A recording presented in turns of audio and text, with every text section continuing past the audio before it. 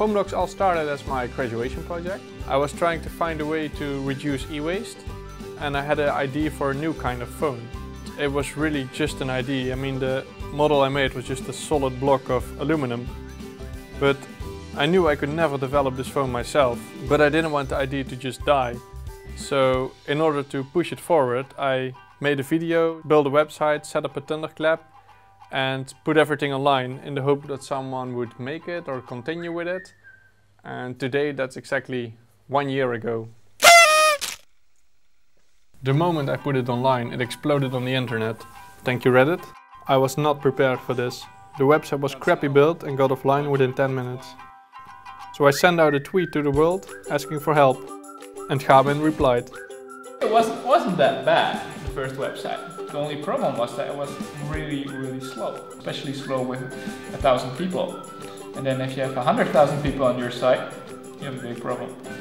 Uh, I work at CISO uh, as a manager of the development department, so we manage websites.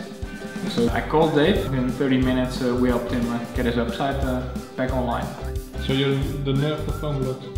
Yeah, I'm def definitely the nerd of Phonebloks. the original goal of 500 supporters ended up with a bit more.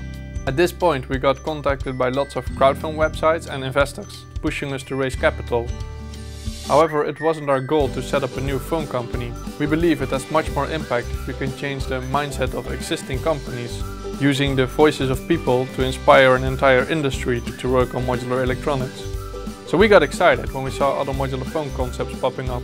That was our whole point, getting companies interested in this idea. Basically update your phone component by component. We got very excited to learn about Project Ara, they are making a huge step by showing the world it's technically possible to build a modular phone. So we've been good friends and dropped by to share updates with you. Meanwhile, Phonebloks launched its online community, a place for people to discuss and share ideas about the modular phone. And we got a new team member helping us out. So, uh, my name is Thomas uh, I live in Gothenburg. We're at my apartment right now, where I work from. Uh, mostly answering emails, posting stuff on our social media, answering questions or receiving feedback, sourcing material, and stuff like that. If we get a reply on Facebook, you're the guy who's replying. Yes. And other people all over the world joined to help us out. Do you need the English voice? No thank you.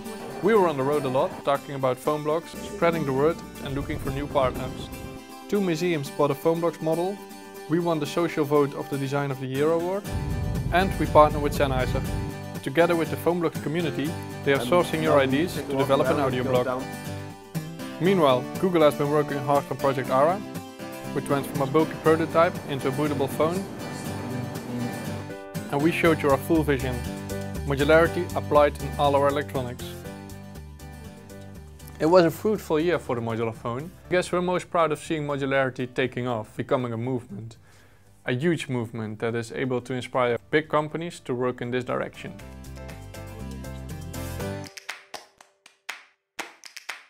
You want to add? No, I just want to say thank you to everyone who's engaging in Phonebloks uh, and engaging in our social media and works to, to drive this, this project forward because it's it's uh, without our social following uh, and the members are on our forum, we would be we would be nothing. And uh, so, thank you.